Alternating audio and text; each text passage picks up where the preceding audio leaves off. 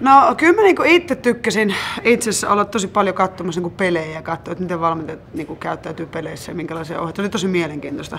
Ja, ja sitten kun aina miettii sitä omaakin käyttäytymistä, kun itsekin tietysti valmennan ja vähän sitten siellä isompia naisia ja miettii sitä omaa käyttäytymistä niin, niin, niin, ja ohjeita, mitä antaa. Et kyllä se niinku pisti ajattelemaan paljon se, kun katsoo kentän laidalla ja vanhemmat, miten käyttäytyy ja kaikki. Et niinku, siellä on hirveästi kyllä työsarkkaa, että mitä me voidaan tehdä.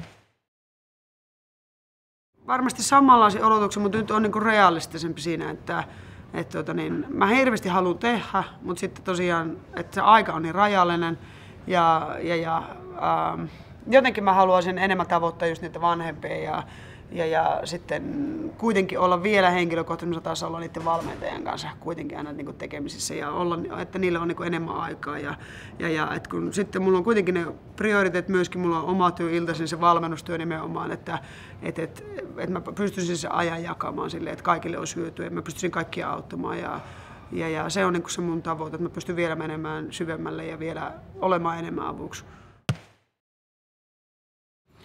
No kyllä se on semmoinen, semmoinen joka osaa ne, nimenomaan niin kuin ne tekniset asiat. Osa ja se pystyy neuvomaan, millä tavalla oikeasti se sisäsyrjäsyöttö tehdään ja se osaa sen tekniikka, koska tekniikka pitää osata oppia silloin. Ja sitten se osaa niin ihanasti innostaa niitä olla mukana siellä, tehdä kuperkeikkoja itse ja olla hauska, mutta silti olla vaativa. Ja, että se antaa sydämessä siihen hommaan, että sitä ei voi vetää kravattikaulussa.